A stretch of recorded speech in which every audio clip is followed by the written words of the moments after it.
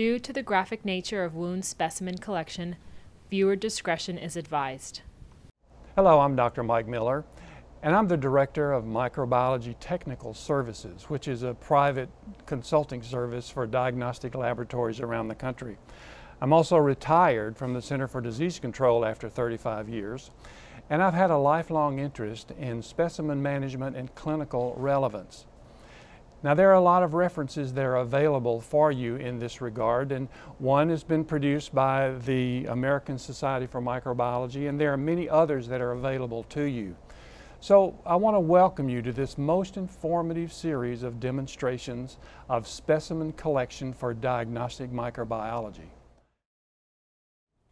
Receiving a wound specimen for culture offers some unique challenges for the pre-analytical and analytical components of the workup. First, regarding pre-analytical issues, the term wound really doesn't tell us anything about the specimen. While the doctor needs to know if there's an active pathogen causing the lesion, the laboratory needs to know what type of wound there it is, where it is on the body, whether it's a surface wound or a deep or surgical wound. Our accurate interpretation of results depends on a specific description of this specimen and the laboratory should require it on the requisition. For example, your requisition should say surface thigh wound or forearm laceration, not just wound. We also need to know if this is a surface sample or a deep wound sample or from a surgical site. That will control whether or not we can consider anaerobes in our culture analysis. This complex area of wound specimens is critical to understand. For instance, burn wounds may require surface swabs or tissue samples. Human bite wounds present a challenge because of the polymicrobial nature of these lesions. Animal bite wounds may require an initial focus on recovery of Pasteurella or Capnocytophaga before further analysis is attempted. Trauma-associated wounds should probably not be cultured within the first 48 hours of the trauma event because environmental flora may obscure important organisms. Here, the best time for culture is immediately post-debridement. Importantly, specimens from surgery should preferably be tissue and not swabs, but surgical site infections present challenges as well. Always consider using the gram stain to evaluate the quality of the sample.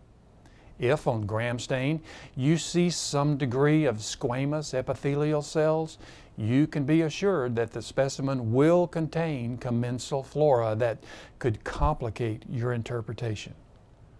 Many facilities use the published criteria for evaluating the quality of the specimen and the reference is listed there on your screen.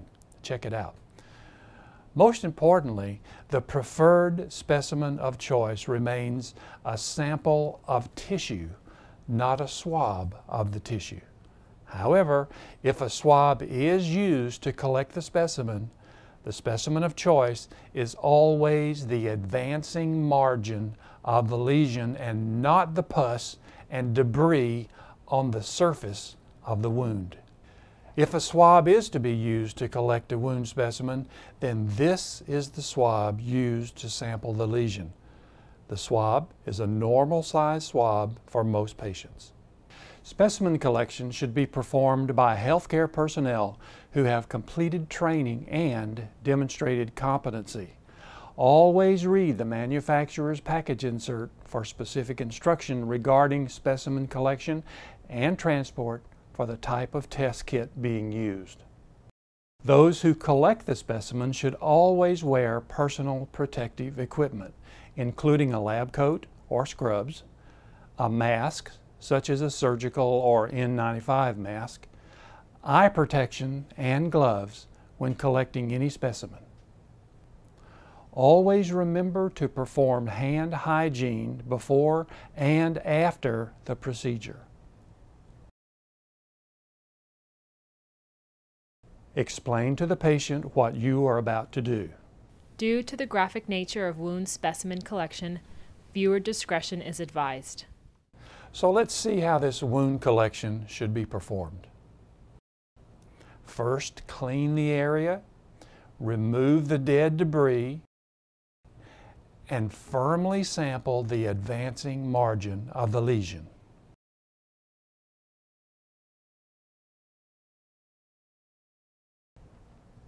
Remove the screw cap from the tube and insert the swab into the transport container all the way to the bottom of the tube.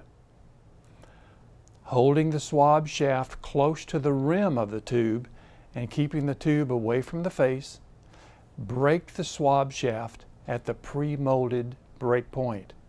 Screw the cap on tightly to prevent leakage and dispose of the swab shaft in a regular trash receptacle.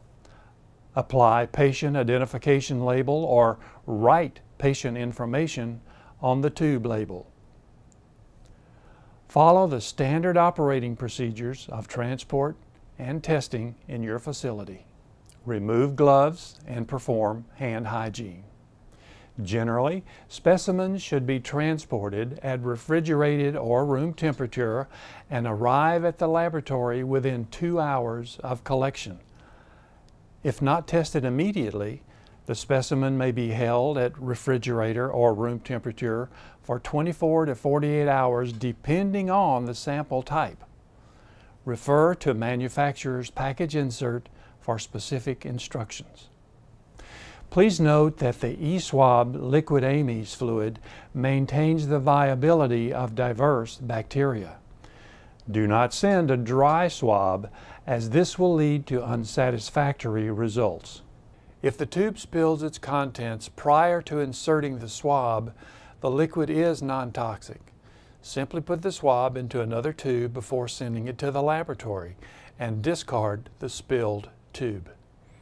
If the tube spills after contamination, follow procedure for blood and body fluid cleanup. Refer to your facility's infection control manual for further direction. If contaminated fluid splashes onto the person collecting the sample, treat as a blood and body fluid exposure. Refer to your facility's infection control manual for further direction.